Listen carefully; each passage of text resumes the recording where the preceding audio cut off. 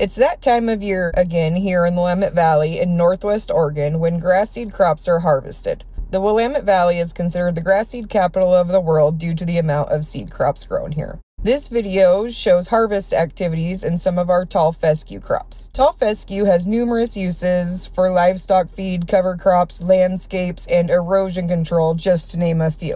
This crop is very beneficial in our crop rotation with vegetables. Grass seed crops are typically planted in the fall and are less labor and input intensive and are predominantly irrigated by winter rains. Once the crop is planted, these fields are set up for a three to four year lifespan. These practices reduce the cost of producing crops and enhance the soil biology by not tilling the soil each year. When you till the soil, the carbon is released back into the atmosphere. This no till system also increases soil biology by leaving much of the biomass in the field, enhances soil diversity, and sequesters carbon. Our harvesters gather yield data and travel through the field and can generate maps that allow us to do a prescriptive nutrition application only in the areas of the field that need it rather than the same rate over the entire field. I'm Kasie Sperling, crop manager for Green Spring Farms Farm management company for Farmland LP. Thanks for watching and please continue to enjoy Fridays on the farm with Farmland LP.